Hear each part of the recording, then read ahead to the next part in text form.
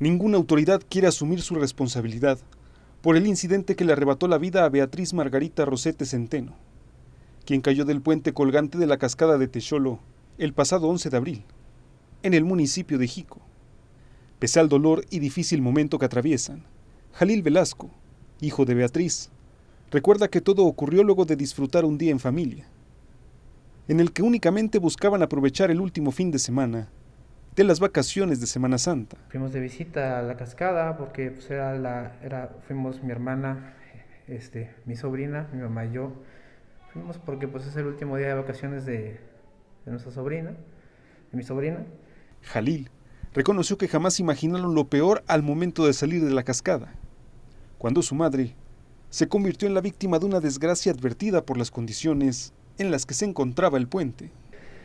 Aproximadamente estuvimos unas dos, tres horas en la cascada y procedimos a subir. Este, mi hermana y yo este, nos quedamos viendo unas artesanías. Mi mamá avanzó.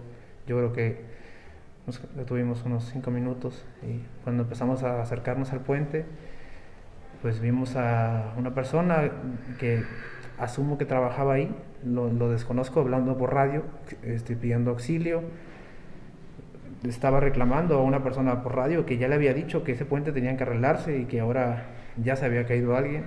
En medio de la desesperación, la hija de Beatriz confirmó que la mujer de 60 años había caído tras identificar las bolsas que llevaba. Yo fui a buscar a mi mamá como desesperado, ¿no? A, a, a la parte de arriba, al estacionamiento, a los puestos, no la vi. Este, cuando regresé, pues mi hermana ya había logrado identificarla por, por, las bolsas que se quedaron atoradas debajo del puente. Tras varios instantes, Beatriz fue rescatada sin vida. Más allá de exigir apoyo, su familia decidió expresarse al no obtener el mínimo respeto de las autoridades, que sin aclarar lo ocurrido, se dedicaron inmediatamente a deslindarse del hecho. Admitir que ese puente necesitaba mantenimiento y que lo sabían, que creo que es importante porque ok, no lo, no lo puedes arreglar tú, pero lo puedes cerrar. O sea, ya, ya se sabía que eso iba a pasar. Absolutamente ninguna autoridad del municipio de Jico, de CFE o de Tocelo nos ha dado ni un hola. O sea, más rápido fue, fue la alcaldesa a deslindarse que siquiera a saber quiénes habían sido las víctimas de la imprudencia que se cometió. No digo que ella, pero alguien fue el responsable. Pues yo lo que quiero es que se investigue y que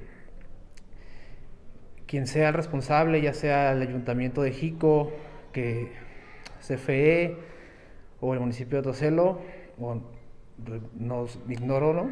¿Quién podría ser más? Pues se hagan responsables. Y para que nosotros podamos cerrar este, este capítulo de nuestra vida. El cuerpo de Beatriz Margarita fue velado en la ciudad de Jalapa, aunque será trasladado a Nanchital, donde sus familiares le darán el último adiós.